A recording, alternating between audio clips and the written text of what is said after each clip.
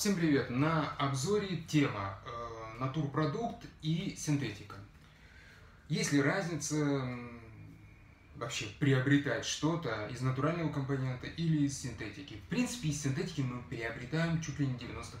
99, если я не, я не побоюсь этого слова. Тот же самый Джо Малон, синтетика, тот же самый Том Форд, синтетика, галимая синтетика 4711, э, ну, Тут еще немножечко натурального компонента может быть и быть, как роза, как бачели, монталь. Стопроцентная синтетика Мин Нью-Йорк, Дюн Руат, запах аквариума, где плавают мертвые рыбки, еще плавают. Вот, шейх. Ну, здесь я полагаю, что есть синтетика и натурпродукт. Почему? Потому что в нем, безусловно, скрывается, знаете как это сказать, странность. Вот обычно натуральный компонент, он может э, немножко разлагаться, его молекулы э, раскрываются и выпадают в осадок. Сгуртовка называется. Вот. Ну, в амуаже, я не знаю, в принципе, натуральный компонент должен присутствовать, как пищевой краситель. Как само составляющая, может быть и нет, а вот как пищевой, да.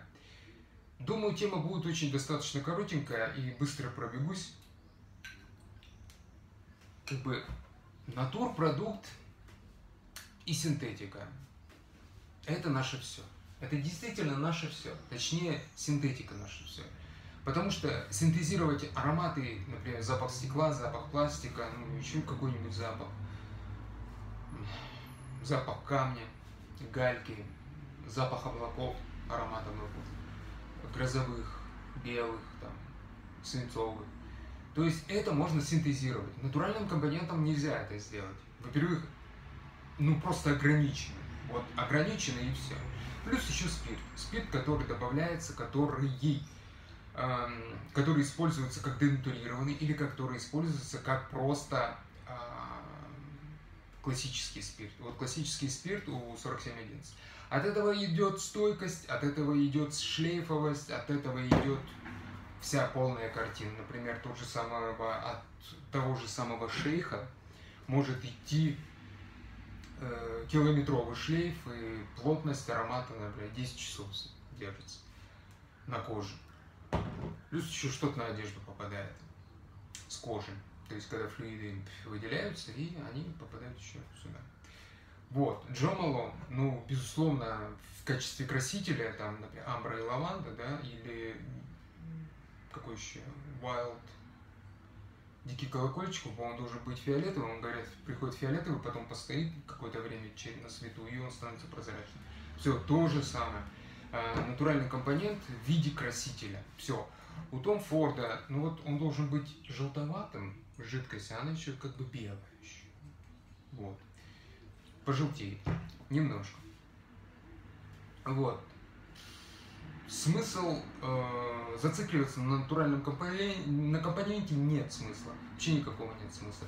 И ценовой сегмент здесь говорит нам только об одном. Если вот партии небольшие, так же, как и у Мин Нью-Йорк, тоже там из тысячи штук, вот 407 выше. Вот. Это не говорит о том, что ограниченность компонентов, это говорит, что сложная синтетическая составляющая. Вот. Здесь Здесь, конечно, много хайпа по поводу шейха. И натуральный компонент, как основной, он может идти в виде красителя. Ну и, безусловно, в виде аромата тоже он присутствует, как натуральный компонент, чтобы его услышать. Те же самые пачули. Их можно варьировать из стороны в сторону. В древесную, в, в зеленую, в табачную, в кожаную. Вот такими способами. Поэтому натурпродукт как таковая сущность, она, ну, как бы уже источается, уходит. Ну, потому что хотим мы, чтобы пах э, ты уже не классическим каким-нибудь тяжелым ароматом, который можно все узнать везде, а хочется, например, чего-нибудь аромат мертвых рыбок в аквариуме, плавающих. Вот. Там бальзамичные оттенки какие-то. Вот. То есть синтетика дает это делать. Э, стоит ли бежать за натуральным компонентом? Нет. И куда вы побежите? Да никуда. В общем, ценовой сегмент. натурального компонента, синтетики, он может быть одинаковый. Ценовой сегмент, почему может быть одинаковый? Потому что, во-первых, синтетику иногда очень сложно скоррелировать с чем-либо, особенно со спиртом. Если он хорошо корреляции подходит классическому спирту, они сюда, классическому спирту, не денатурированному, они его нахерачат столько качественной, качественной синтетики, что он будет и звучать, и будет стойкий. Ну, этот может часов 5, и все, не больше. Вот. Но почему? Потому что процент спирта, он может быть разный. Здесь может быть 70%, здесь может быть 90%. Даже нет. В этой колонии сейчас идет 80%. Все. 90 ставили, когда делали духи. Духи там... И все вы понимаете, что такое большое разнообразие парфюмерии не дает нам прыгать только в одну какую-то марку. Мы хотим, хотим этого, этого, этого. Поэтому и бренд, бренды так и раскрываются. То есть они открывают из своей линейки что-то новое, что-то интересное, что-то нам нужное, так называемое. Что дальше? Из натурального компонента, что можно сейчас добавлять очень много и обильно, это пачули, это ваниль, ну, его не особо много, и лаванду. Может быть, еще и добавляют э, санталовые, санталовую древесину, дистилляция. А, может быть, идти еще и... Как они его называли-то, блин? Ой, забыл я его. Вот. Поэтому заморачиваться в этом, по, по этому поводу не нужно. А, ну, шалфей может идти еще, кстати.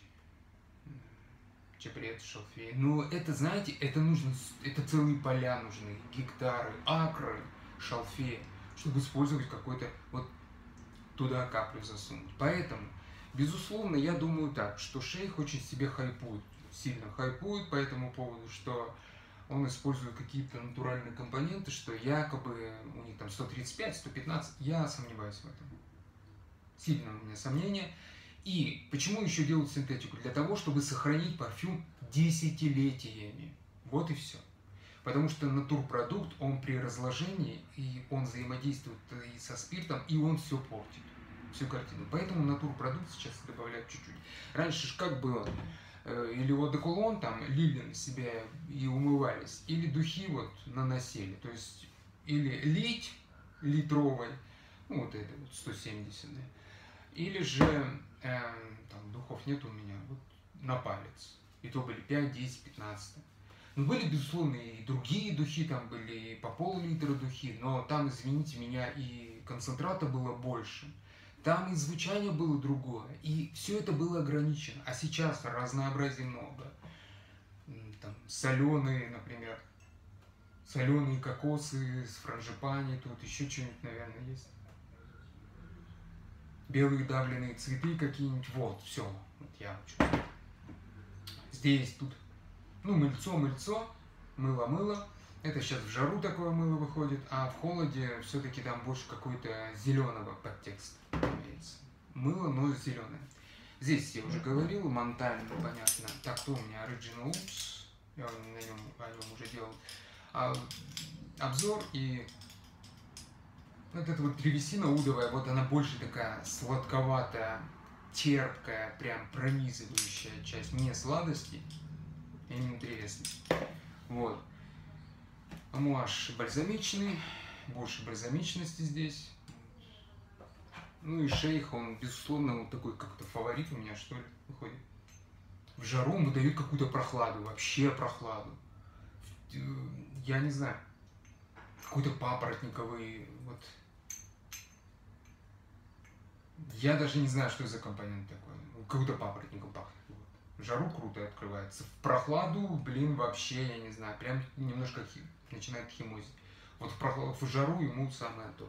Вот. И поэтому стоимость натурального компонента и стоимость синтетики, она может быть одинаковой. Почему? Ну, потому что как бы из синтетики можно сделать миллион вариаций, а из натурального компонента, ну, сотни сделаешь, ну, две, ну, три сотни, все. То есть, а бренду нужно выпускать продукт и дальше как-то работать. Поэтому натуральный продукт и синтетика, они друг друга стоят. И стоят они, к сожалению, иногда зачастую прям одинаковую цену. И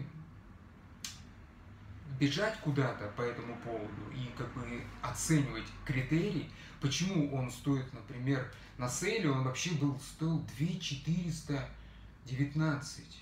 Я тогда чуть сильно не упал, пока блин, я вообще херевал. Я его взял за 400, а они еще потом снизили цену, ну, срок годности.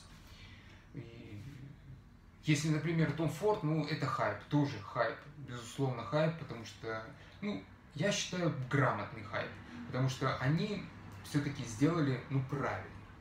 Правильное звучание, правильные аккорды, молодцы. Вот. Ну и колония Dance 4711 молодцы, они стали возрождаться, они стали что-то делать интересно. Классический одеколон, это, конечно, фигня на полтора часа, этот хотя бы часов пять максимум. Эм, Мир Нью-Йорк, безусловно, эм, это прям что-то с чем-то, это мой бренд, я считаю. То есть это под меня все это сделано. Вот такие вещи я очень люблю. Очень необычно все, что вот прям вот. Но цены свои не стоят. 12 тысяч, ну не стоит. Ни один, ни один парф... ни одна парфюмерия не стоит таких бешеных денег. Это все, я уже говорил, работа, работа и работа. И, безусловно, шейх, ну, он использует, хотя он говорит, что использует и 135 компонентов натуральных вранье. Я думаю, что это вранье. Не будут они столько использовать. Где они? В пустыне используешь? Э, золотом покрыто, верю Кристалл Сваровский, верю, красивый, здоровский. На паленках, я не знаю, это, где можно паленку найти в, в оригинальном оформлении. Вот. Ну вот, в принципе, и все. Вся, все, весь их хайп. Аромат, но он не стоит таких денег.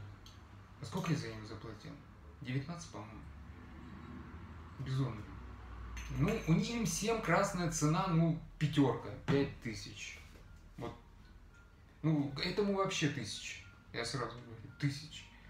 Этому может быть четыре тысячи, три. В Том Форду тоже.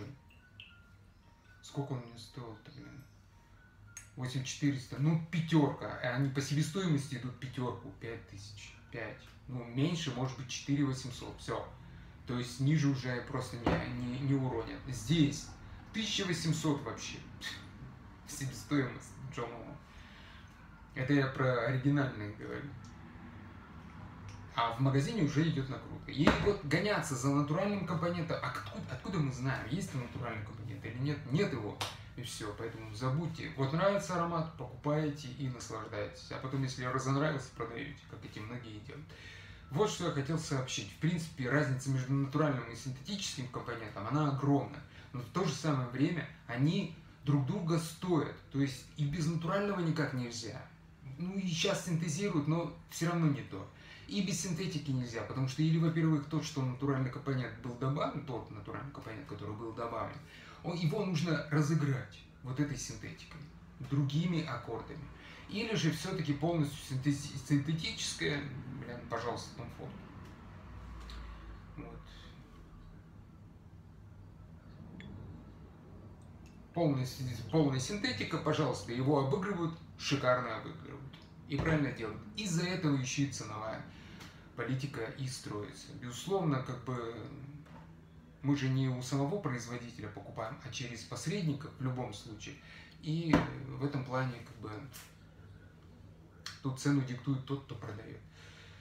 Вот что хотел сообщить о натуральном, о, синтет... о синтетике. Я думаю, вы все это поняли. В принципе, не нужно ни зачем гоняться, нравится аромат, наносите, носите и используйте его. Или блин, или пользуетесь им, или не пользуетесь им.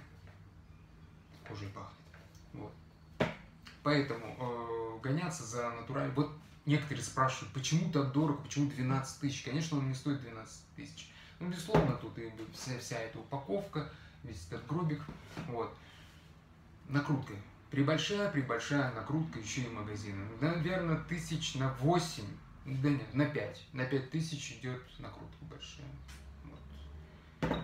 Плюс сам еще производитель. Сами, вы сами вы видели, что какие могут быть колпачки. Ну не очень, не очень. Вот, поэтому по теме все.